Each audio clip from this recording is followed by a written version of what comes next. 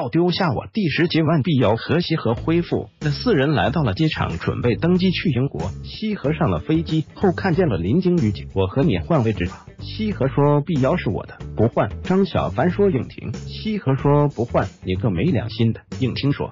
真是交友不慎。西河说完，来到位置上坐下，叫来了空间，要了一杯水，准备吃安眠药。真是交友不慎罢了。我吃点安眠药休息吧。西河说：“安眠药，你吃这个？”林惊羽乱咳。碧瑶之前也吃过，还不是拜你们所赐。应听说。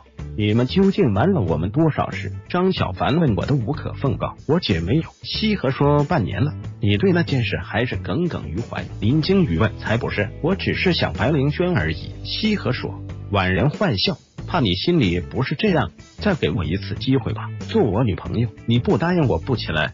林惊雨说完，跪了下来，拿出戒指，答应了。众人叫好，我答应你便是。西河说，你们都骗我，补偿有没有？三个月的甜点和下午茶。喜和说：“小轩，我看是我交友不慎。”应婷说：“你坑我，我也坑你。”喜和说：“小心吃成猪。”林惊雨说：“你才是头猪。”西和说：“小凡，你这次去美国后可有打算？”万碧瑶问：“十年之内不回。”